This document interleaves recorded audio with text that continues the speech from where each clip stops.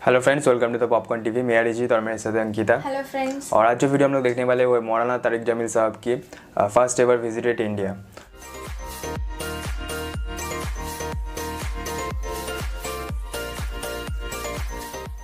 speech उनका है। हर एक मतलब वीडियो बहुत अच्छा लगता है और ये वीडियो देखने के लिए मैं बहुत ज़्यादा एक्साइटेड हूँ। तो चलिए देख लेते हैं। 82 की बात है मैं इंडिया गया अकेला। ट्रेन में था तो जालंधर से रश चढ़ा तो लोग खड़े हो गए। तो एक नौजवान सा था वो जवान था नौजवान तो नहीं था वो खड़ा हुआ था। तो मैं एक सिख को दावत दे रहा था। तो मेरी गौर से ना सुनता रहा।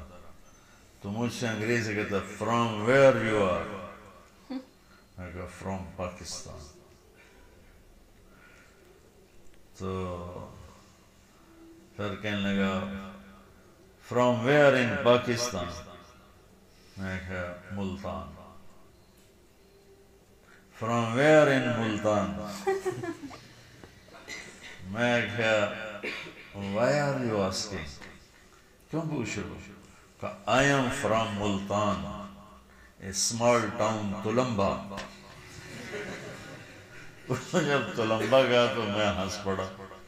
तो फिर उर्दू में बोला, हंसे क्यों हो? मैं कहा आई एम फ्रॉम तुलंबा. कहने लगा, आप अपनी बोली बोलिए।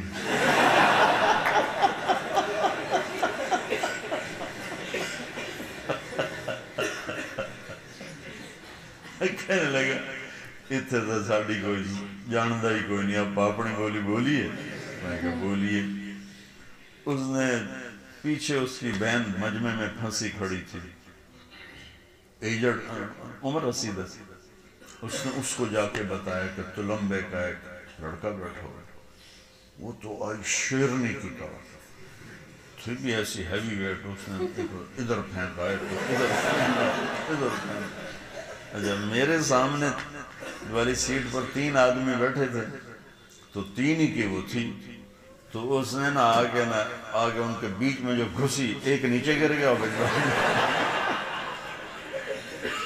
मुझे कहती वो पुत्रा, तू तुलंबेदा है? जी जी, मासी जी, मैं तुलंबेदा ए मैं ठर पावा जितने तुलंबे के उस नौजवान का नाम था राम स्वरूप चुग। राम स्वरूप चुग। मुझे आज तक याद है। मुझे अब चीज़ें याद नहीं रहती हैं, मुझे आज तक याद Ram Swaroop 86 L satellite town उसने मुझे अपना एड्रेस दिया था बोला नहीं ज़िंदा मर गया लेकिन तुलंबे के हिंदू सोनीपत शिफ्ट हुए उस सोनीपत के मुसलमान वहाँ तगा एक कौम थी बड़ी वो तलम्बा शिफ्ट हुए कुछ उसमें राजपूत फैमिलीज़ भी हैं कुछ तगा फैमिली भी। तो वो बीबी जलंधर से जो शुरू हुई है, मुझसे बातें करना तो लंबे की तो सोनीपत तक वो चुप नहीं हुई अम्बाले गाड़ी रुकी तो मैंने वो बाहर छावड़ी वाला सेब बेच रहा था, मैंने सेब लिए तो मैंने काट के मैंने कहा, मासी, खासो कि पुत्र से मुसलियाँ को खाते नहीं, पर तू तो लंबे दा तेरे को ज़रूर। तो।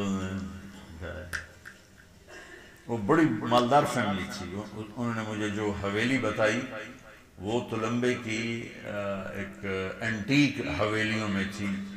तो कहने लगी, मेरे बापू, हवेली पूरी की थी तो तू मुल्क बन गया। तो सानू, ऐ, छोटा जहा है ये उसके राम स्वरूप जमे आया यह जी छे महीने का ही। इनू लैते असं निकले हैं। तो हर शायद छड़ते आ गया तलम्बे में हिंदुओं की दो बड़ी फैमिलियाँ थी। एक परूथी और एक चुप इन्होंने पूरे इलाके के जिम्मेदारों को अपना गुलाम बनाया हुआ था। सूद पे कर्जे दे दे करना, उनकी जमीनें सारी उन्होंने ना, वो कब्जे में की हुई थी और वो उनके गुलाम थे। तो अब उस हवेली में 20-25 खानदान रहते हैं। और वो अकेले उसके मालिक थे उस वक्त कहने लगी मेरे बापू ਇੱਥੇ ਆ ਕੇ ਮਰਨ ਤਾਈਂ ਜੁੱਤੀ ਨਾ ਪਾਈ ਕਿ ਜੁੱਤੀ ਪਾਉਣੀ ਹੈ ਤਾਂ ਤਲੰਬੇ ਦੀ ਪਾਉਣੀ ਨਹੀਂ ਤਾਂ ਪਾਉਣੀ ਨਹੀਂ एक तलम्बे का हुक्का एक खुस्सा ये म- मशहूर था तो इसलिए वो उसी जू, जूते के चक्कर में वो नंगे पाँव ही मर गया बाप हमारा तो वीडियो तो काफ़ी छोटा था। हाँ, छोटा था। हाँ चार पाँच मिनट का वीडियो था। और मौलाना साहब ने एक एक्सपीरियंस अपना शेयर किया कि वो जब इंडिया आ रहा था मतलब ट्रेन से तो उसके बारे में एक छोटा सा एक्सपीरियंस उन्होंने शेयर किया। और इससे पता चलता है कि इंडिया पाकिस्तान में जो कुछ लोग अभी भी है जो जो बंटवारे की वजह से कि- किसी का फैमिली पाकिस्तान में रहता होगा किसी का फैमिली इंडिया में रहता होगा मतलब जो पूर्वज रहते थे उनका कुछ फैमिली बढ़ गया है पाकिस्तान में कुछ फैमिली आ गया है इंडिया में। तो खास करके पंजाब रीजन में ऐसा ज़्यादा है। इस, इस तरह का बहुत फैमिलीज़ मिलेंगे जो मतलब जैसे जैसे कि मुल्तान के नाम लिया है तो मुल्तान जो है वहाँ पे कुछ फैमिली से जो इंडिया से बिलोंग करते थे। कुछ फैमिली से जो पाकिस्तान से बिलोंग करते थे। मतलब किसी का पूर्वज मुल्तान में रहते और किसी का मतलब अभी जो करंट जनरेशन वो इंडिया में रह रहा है। तो इस तरह का चीज़ें होता है जब बंटवारा होता है देश का। और उन्होंने खूबसूरत तरीके से अपने छोटा एक्सपीरियंस भी एक्सपीरियंस उन्होंने शेयर किया था बहुत अच्छी तरह से कि अगर अपना लोग मिल जाए कहीं पर भी मतलब अपने तरीके से पहले वो बात कर रहे थे अनजान कैसे इंग्लिश में बात कर रहे थे जब मिल गया अपना तो बोलने लगे कि अपने भाषा जो language है, हाँ। भाषा में बात किए तो ऐसा ही मतलब अचानक से मिल जाते तो बहुत अच्छा लगता है और बातें चालू हुआ उनका खत्म हुआ बहुत देर तक वही हाँ। सारी चीज़। और मतलब जो इस, इससे और भी पता चलता है कि जो दोनों देशों का जो कल्चर है इतना सिमिलर है खास करके पंजाब में जो चीज़ है बहुत ज़्यादा सिमिलर कल्चर है लैंग्वेज बहुत सेम जैसा है। जो मतलब खाना पीना हो कपड़े वगैरह हो कल्चर बहुत सिमिलर है। मैं कहूँगा सेम ही है कुछ जगह पे तो बहुत सेम ही है। अ, तो इसके वजह से उतना मतलब अपनापन लगता है।